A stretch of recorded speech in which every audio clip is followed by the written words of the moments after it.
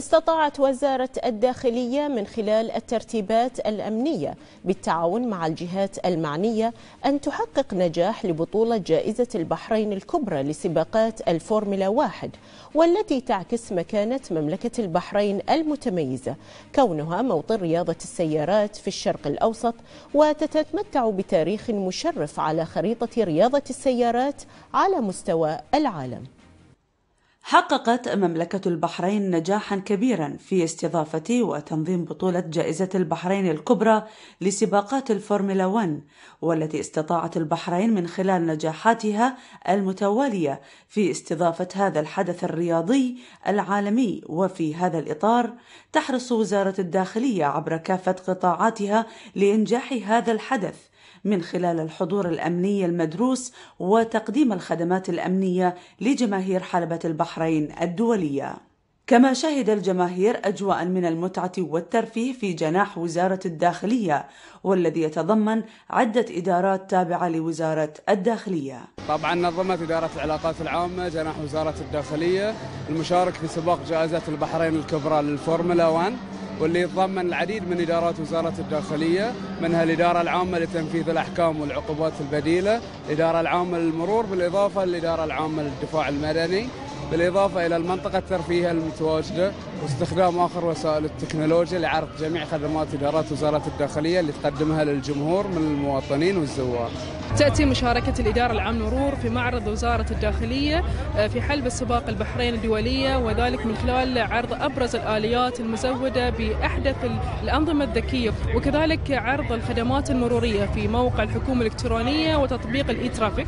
بإمكانه زوار المعرض أنهم إنجاز خدماتهم بكل سهولة ويسر وكذلك وذلك يتماشى مع توظيف الذكاء الاصطناعي المعمول به في معرض وزارة الداخلية.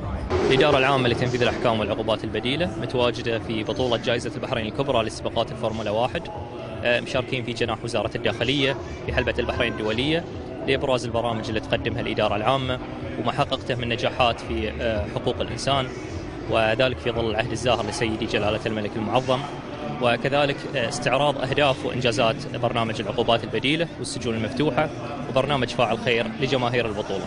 والله ما شاء الله نشوف يعني تطور كل سنة عن سنة الثانية يزيد تطورهم. يعني وزارة الداخلية ما شاء الله البوث مالهم كل ما نشوف شيء تطور شيء يبهرنا.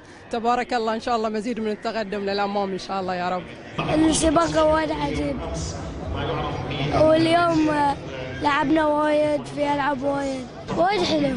في في VR في ألعاب. في في ألعاب إلكترونية في في تلوين. عجبني إن في وايد أماكن حلوة. في سيارات مالت سيارات شرطة. وايد أشياء حلوة. كما كان مركز الإسعاف الوطني على أهبة الاستعداد للتعامل مع أي طارئ بكل احترافية وتقنية عالية مشهودة للجميع. يتم التنسيق بين الجهات المعنية بحيث يتم تنسيق آه، عدد من الإسعافات تتواجد بالحلبة على مدى أربع أيام متتالية. آه، طبعا بتكون آه، الإسعافات فيها مساعد مسعف ومسعف طبي متمركزة في نقاط معينة على سباق المضمار الحلبة. دورنا كمسعفين هو نقل حالات الطارئة أو الحالات الغير طارئة والطارئة من مركز أو مكان وقوع الحادث إلى العيادة. الحمد لله رب العالمين، الإسعاف على تام الجاهزية والاستعداد، مجهز بكامل الأدوات الطبية والأدوية. والمعدات اللي نحتاجها اللازمة في حالة الحوادث أو في حالة ال medical اللي هي المشاكل الطبية اللي ممكن تواجه المارشل في حلبة البحرين الدولية. يأتي هذا النجاح الباهر لما تتمتع به وزارة الداخلية من جاهزية واحترافية عالية المستوى والخبرات التي كان لها بالغ الأثر في إبراز السباق العالمي بصورة مشرفة أبهرت الجميع